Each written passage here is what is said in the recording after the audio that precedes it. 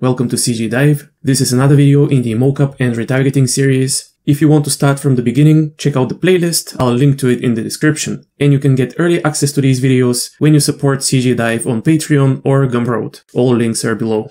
Let's take a quick look at the general process of importing motion capture data as FBX or BVH. I'll start with FBX. In Blender, just go to File, Import, FBX, and go to the folder where you have your FBX files. And now in many cases, the default settings, which I have here, will work fine. So here's an example with this MMA kick. If I just import it, I have my armature and the motion looks okay. And there are a few problems here with the transforms and the size of the armature, which I'll talk about in a second.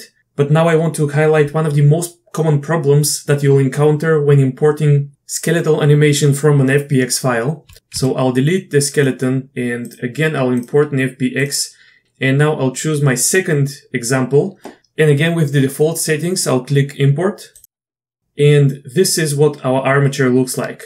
If I play the action you'll see that it works and you can probably even kind of guess what kind of action it is but the bones are obviously not aligned properly. So I'll delete this, import again, I'll select the same file and now under armature, I'm going to enable automatic bone orientation and import again.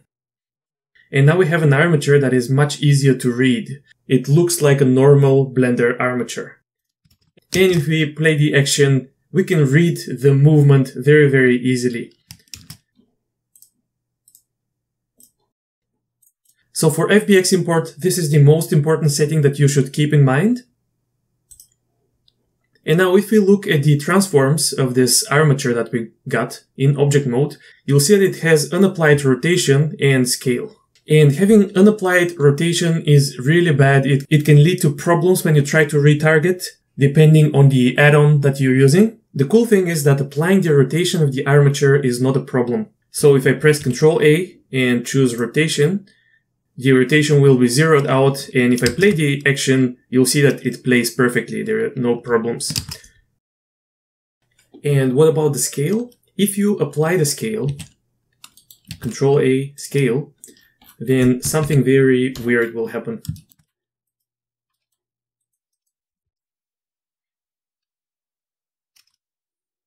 You'll see that the character movement is being offset quite a bit and instead of the subtle movements that we had originally, the, the character is flying around. That is because when we apply the scale, Blender didn't fix the size of the action accordingly. There is a way to fix this manually um, in our add-on, Game Rig Tools. We're going to have an, a tool for that. It will apply the scale of the object and fix the size of the action with one click. Uh, we're going to release this soon, but here's the thing. Um, these scale values actually don't matter for retargeting. Having unapplied scale will generally not cause problems in our retargeting workflow. So I'm simply going to undo. And I'm going to leave the scale of this armature unapplied and I'll have proper motion. When importing FBX files, there is a special case of incorrect bone orientation where automatic bone orientation doesn't really solve the problem. Here I have this mocap data from ActorCore, and the skeleton that they provide is unusually complex. So I'm going to select one of them and use automatic bone orientation and import. And you'll see that even though we used automatic bone orientation, there are these bones that point to the side of the arm. And if I go to pose mode, this is actually the lower arm. So automatic bone orientation didn't quite solve the problem here. And there is something that you can do about it. I'm going to delete this armature and import again. And now instead of automatic, I'm going to set my bone primary and secondary axis manually. And for this skeleton from ActorCore, I know that primary Y and secondary Z works well. Import FBX and you'll see that all bones seem to be aligned well. There are no bones sticking to the side. And these are the main things that you should keep in mind when importing FBX files. Now let's look at importing BVH files. I'll go to File, Import, BVH.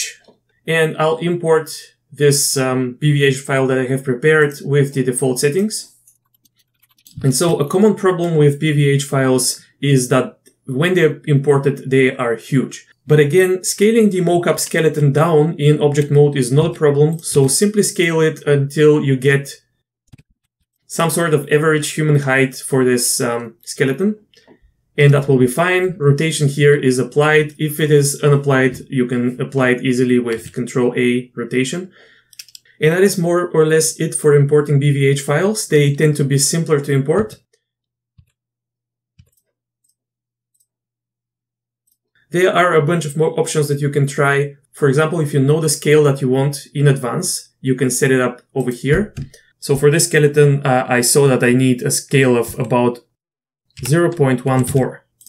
And now if I import the BVH file, it will be imported with the correct size from the start. And the scale is actually applied. So if you care about applied scale, use the scale setting in the BVH import dialog. Now that we can import motion capture data into Blender, let's make sure that it also makes sense. The standard mocap armature that you'll find in general has a simple humanoid structure. It will generally have a hip bone, which is also the root of the whole armature. There are spine bones, usually around three. There can be four or two or even just one single spine bone. Usually there will be one neck bone and one head bone, shoulder bones, for the arms, you'll generally have upper arm, lower arm, and hand, and sometimes also fingers, which may or may not be animated. The leg will generally consist of upper leg, lower leg, foot, and toe bone, which represents the ball of the foot, and there may be individual toe bones. And these are the bones that you'll actually need, but sometimes for various reasons, you'll also get additional bones that you don't really want, but they kind of get imported.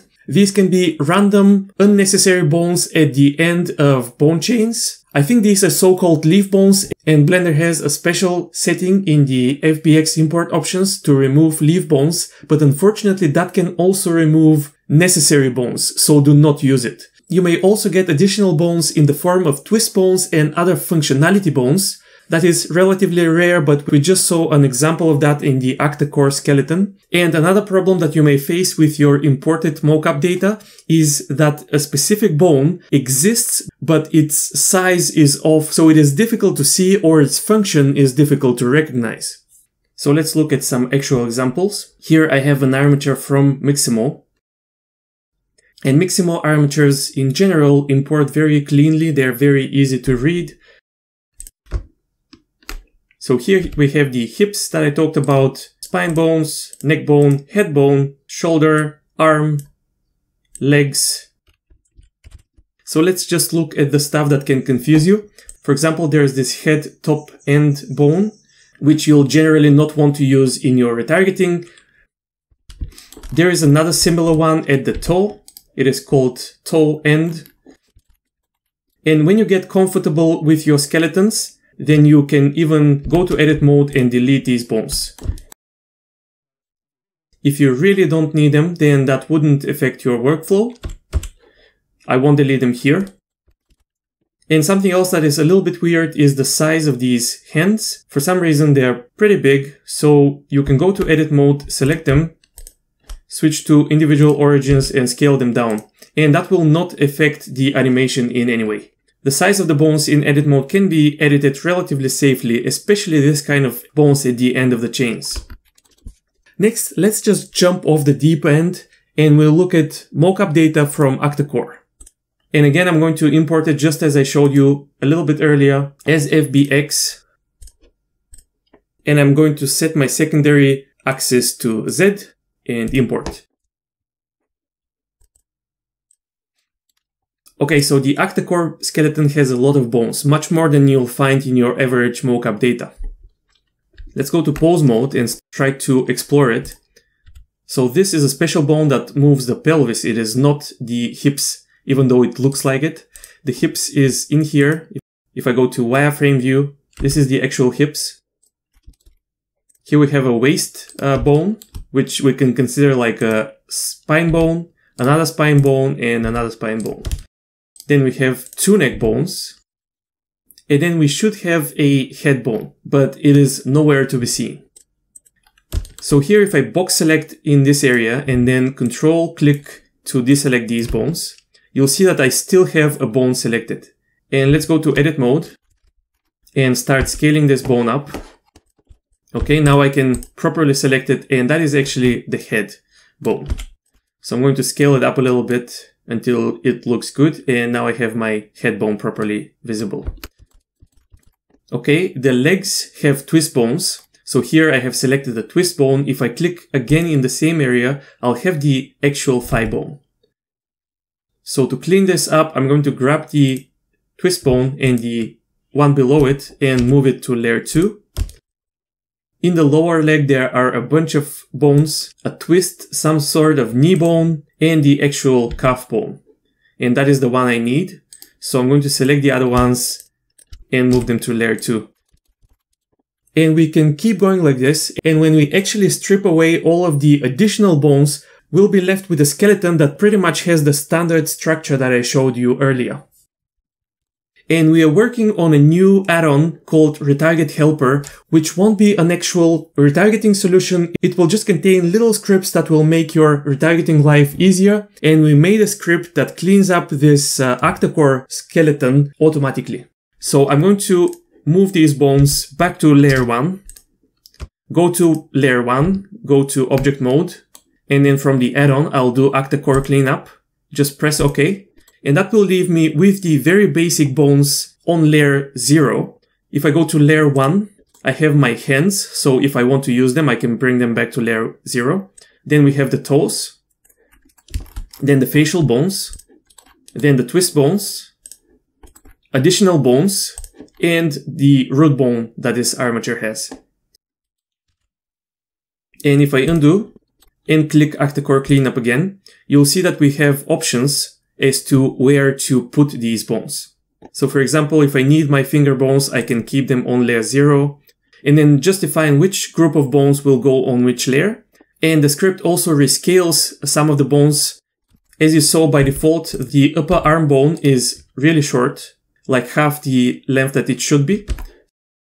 But if you use the add-on, it will just automatically rescale these bones so that they make sense. So the ActorCore skeleton is really complex and trying to make sense of it can be a good exercise. Let's also look at other examples and let's see if we can find something interesting. Here I have a skeleton from Deep Motion. And it has a very clean structure.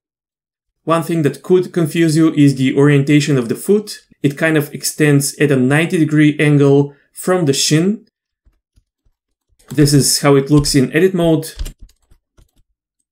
And I think it's more common to see the foot like this at an angle.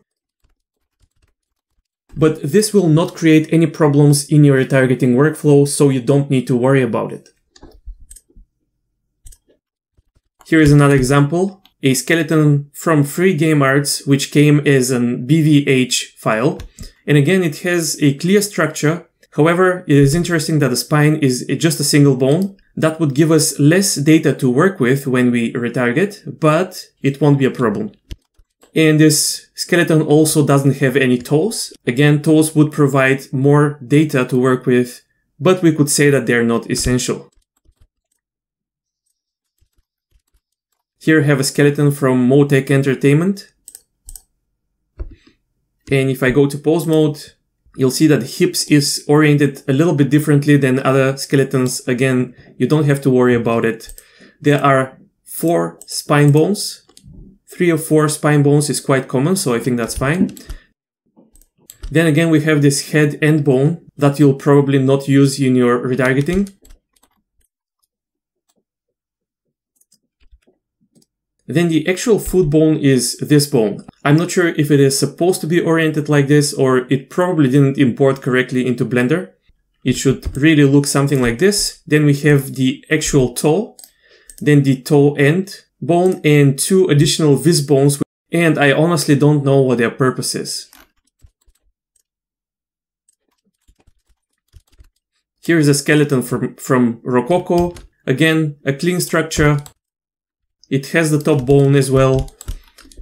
It has the straight feet and the toe tips. Here is another armature again from Rokoko. And this one has some sort of prop bone. So, so depending on where you got the action from and what its original purpose was, there can be some crazy bones in the skeleton, but it's important to keep in mind the standard structure and focus on it and ignore the other additional bones. And finally, let's see how you can create your own libraries of mocap data, so to speak. I'm looking forward to the asset manager in Blender 3, where maybe we'll be able to organize actions as assets, but we'll have to wait and see. But here is an approach that I have for right now. I'm going to import FBX. And here I have a bunch of animations that I have from Mixamo. And because they're from Mixamo, they kind of have the same skeleton. Uh, some Mixamo animations actually have a slightly different skeleton or the bones are named a little bit differently. But here I made sure that I got the same skeleton by importing my own model, rigging it with the Mixamo tools, and then exporting animations from this model. And now if I just select all of these animations by pressing A in here and click import FBX. I'll also enable automatic bone orientation, import FBX. So each action was imported with its own armature. But because these armatures are structurally identical inside, I only need one of them. So select the first armature, press Ctrl I to select all other armatures and delete them. And now even though I deleted them, all actions are still here. I can go to the outliner and switch this to Blender file and here you'll see all of the actions that I imported. And now if I switch this area to Dope Sheet Action Editor, I can switch between my actions. And so this armature can play all of the actions that I imported.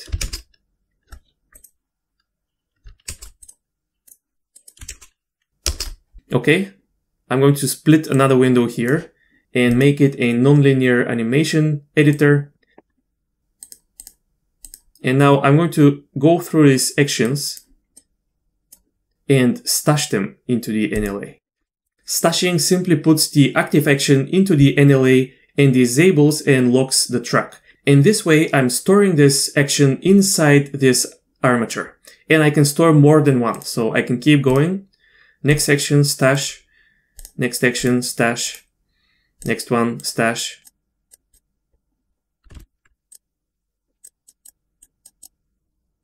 Stash, stash, stash. Now if I want to preview any of these sections, I can start it and it will be playable.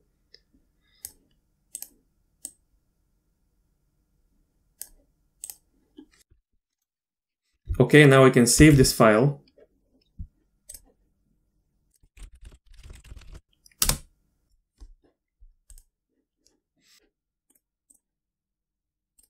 And now if I'm in a new file where I want to import my Mixamo actions, I can go to File, Append, find the Mixamo actions that I saved. And now if I go to Object and import my armature object, the armature will be imported.